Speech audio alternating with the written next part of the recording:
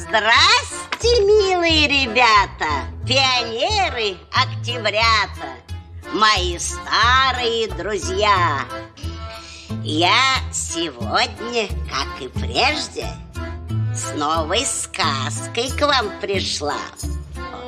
В стороне нашей светлой лесной жил олень.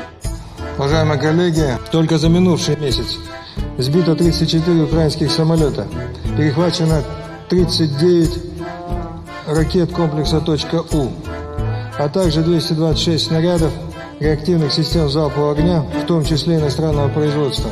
Всего в результате ударов российских войск по военным объектам ВСУ уничтожено 33 американских гаубиц М777, 5 пусковых установок противокорабельных ракетных комплексов «Гарпун», а также 6 пусковых установок и более 200 ракет реактивных систем залпового огня «Хаймерс». Также за прошедшие две недели ВСУ лишились 396 противотанковых ракетных комплексов «Джевины» и «Энлоу».